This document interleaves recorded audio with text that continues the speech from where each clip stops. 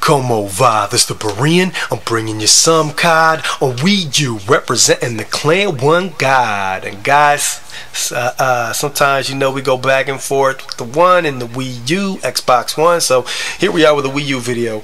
And real quick, I want to get into something that's controversial, and everyone is speaking about it. It is Ben Carson, and they asked Ben Carson, "Would you vote for a Muslim president?" And he said, "No." And the correct response is Amen.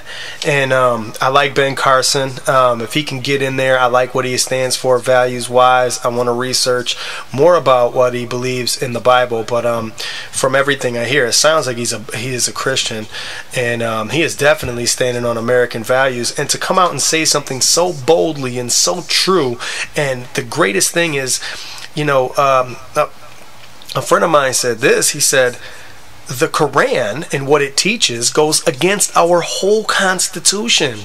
We started on people leaving where they were being persecuted by Rome and the Catholics, and they came here searching for religious freedom.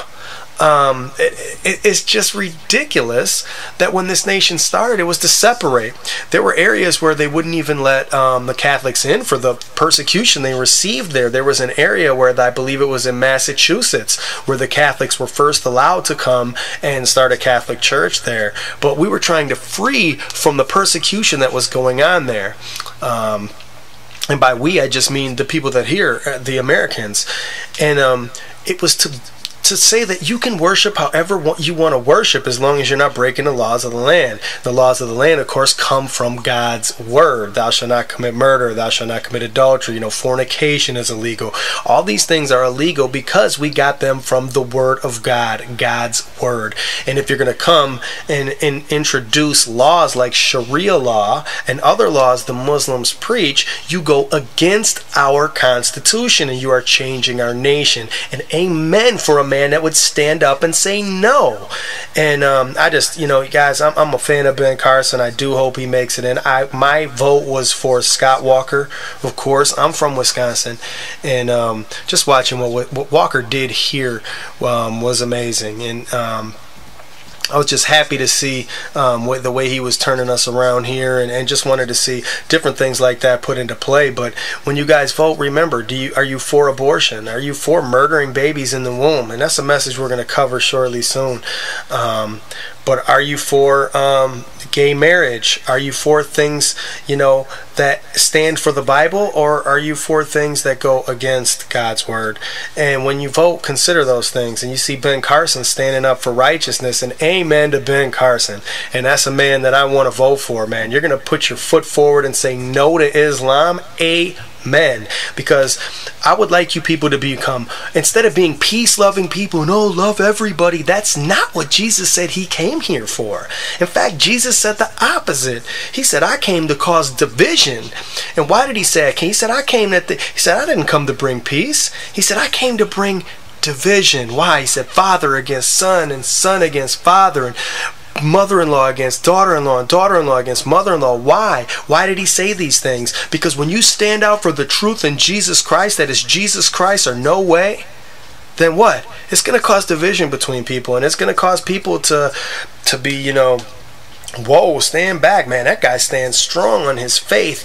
And I want you to understand some things about Islam. And the verses in jihad, those are not extremists that say um, we need to kill Americans. I mean, over there, they're chanting, kill Americans. That you, you saw it when they put out the videos and stuff. This is taught there. And we have Muslims that have come here that have been born again and they're Christians and they love the Word of God and they love the Lord Jesus. Now, I would vote for them in a minute. It's not that I wouldn't vote for an Arabian. That has nothing to do with this. It has nothing to do with color. That has nothing to do with race. This has to do with where your values stand. Do you stand for Jesus Christ or do you stand against them? Period. Bottom line. And um, I, I, pray you guys, I'm going to leave links to them in the description. But Walid Shoebat was a terrorist a Muslim terrorist and went out and, and was ready to set off a bomb and it didn't go off for some reason. You can hear his full testimony. I'll leave the link in the description. But the man now serves the Lord Jesus Christ as a as, as just a, a, a godly man serving the Lord. And the other person I'm going to bring you to is Usama Dakdok. And um, there are many folks you can you can find many I'm, I'm trying to think of the name of one that came and preached near us. His testimony was unbelievable. I wish i had that testimony.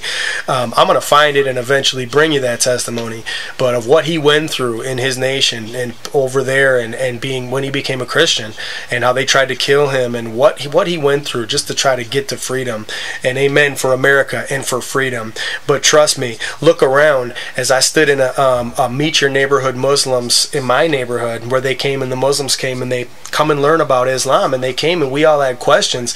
And the first question raised was um, if you say you're a religion of peace then why are there so many verses that say to kill the people that don't comply to what you're preaching?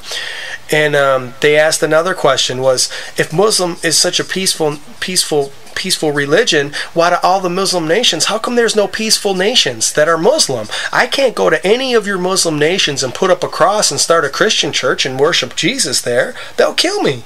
And there's no nations that offer this freedom to other beliefs um, because they X out other beliefs. We don't want to X out other beliefs. You know, you say that's what we're doing. No, I, I'm not saying get rid of the Buddhists or the Catholics who I disagree with their gospel and their Jesus or um, um, you name it, Hindus. I'm not saying X out Hindus or the, the Sikh uh, temple. I'm not saying X them out. No, I'm saying let them come here and have their freedoms and worship God. And that's what Ben Carson is saying.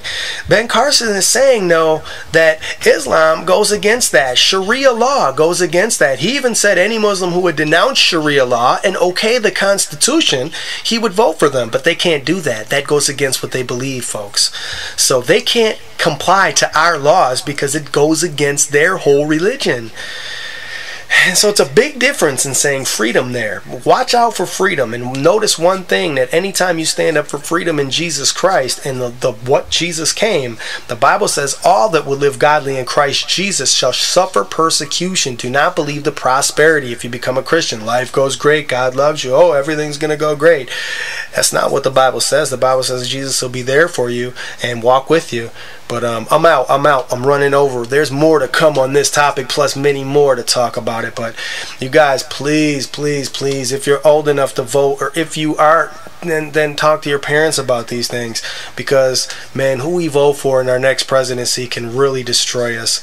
Um, President Obama has really the the whole Democratic Party has really brought down a lot of the true Christian values in this nation, and we are running rampant with uh, immorality throughout all our videos, through our TVs, through everything, and some laws need to be put in place to crush that. That's it. God bless you guys all from the One God Clan of Berean out.